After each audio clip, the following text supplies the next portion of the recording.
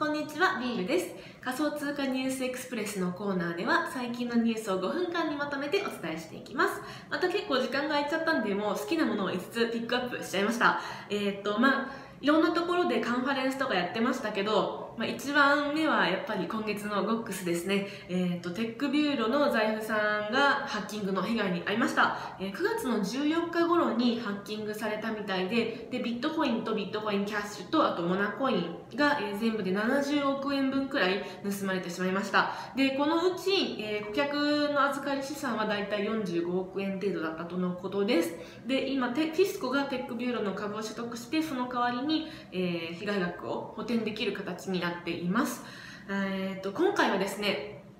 今回はみなし業者じゃなくって本当に登録されてる取引所がハックされているので、まあ、金融庁もなんか結構うーんっていう感じかと思いますけど、まあえー、今日出てたのが近畿財務局からのお知らせで、まあ、テックビューロに業務改善命令を出しましたっていうので、えー、27日までに再発防止策とかあとは顧客対応どうするのかまとめてくださいとのことでした。え、次はチケット転売防止システムです、え、これは財布さんのお知らせと同じ日にかぶっちゃってたんですけれどもブロックチェーンジャム2018っていう、まあ、海外の入試の人たちがやってるような、えーと、企画してるイベントが10月にあるんですけれどもそのために開発されたブロックチェーンで、ま、チケットの転売を防止するっていうような仕組みで、えーと、アドレス自体がチケットになっていてでそのアドレスにトランザクションが送られたら無効化されるっていう仕組みになってるみたいです。で、えっとまあ、転売するときにチケット持ってます。売りたいですって言わなきゃいけないけど持ってるでっていうのを証明するためにチケットを見せちゃったら、えー、そこに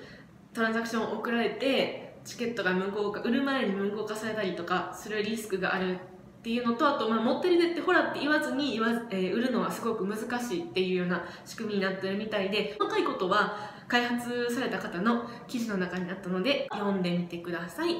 はい。じゃあ、えー、と次ですね。次は博報堂がブロックチェーンイニシアチブを発足しましたといったニュースで、えー、これはリリースが出てました。トークンコミュニティが出てきて生活者の一人一人がこれまでになんか主体となって社会に価値を作っていくっていう考えのもと、えー、イニシアチブを発足しましたといった、えー、発表があってでビジネス開発マーケティングあとトークン ICO 関連サービスあとリサーチと情報発信っていうのをやりますとのことです、まあ、の技術だけじゃなくってこういったその技術の周りの部分、まあ、が、えーと、どんどん広がってきてるのが分かるニュースかなと思います。じゃあ次は、えー、ビットコインコアにバグが見つかりましたといったニュースです。これは BTCN さんの記事を参考にしています、えー、ビットコインコアの、えー、コードに今マイナーがネットワークを攻撃してシステム全体を混乱に陥らせることができちゃうっていうバグが、え発見されました。で今はもう、え修正済みで新しいバージョンがリリースされてるのでアップグレードしてくださいねっていうふうに呼びかけられています、えー、ただ記事の中ではこのマイナーが仮にこのことに気づいたとしても攻撃攻撃をするインセンティブが、まあ、十分ないかもねみたいなどっちにしろ攻撃はしなかったかもねみたいなことも書かれています、えっと、みんなが使ってて開発者もいっぱいいるビットコインでも結構危険なバグが見つかるってことはビットコイン以外でも結構あのあるんじゃないかなとこれから見つかるかもしれないなと思います。はい。じゃあ次は最後ですね。最後は LINE の仮想通貨エコシステムですね。これはコインポストさんの記事を参考にしています。えコンセンサスシンガポールで行われたブロックチェーンのえ コンセンサスシンガポールで、え、プレゼンテーションが、え、あってで LINE が独自のエコシステムを、え、